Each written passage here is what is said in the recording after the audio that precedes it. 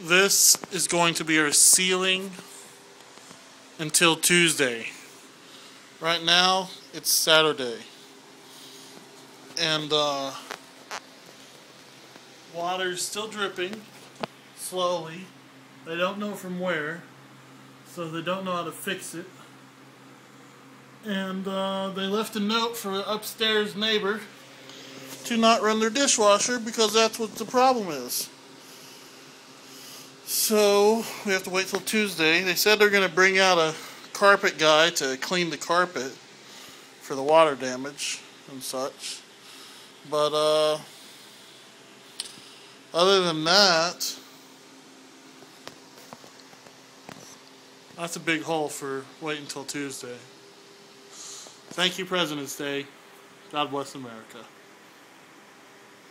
And here's tabs. Take. And yes, we still have our Christmas tree up. you already saw the big hole. I don't know what else to say about it. There's a hole in my ceiling.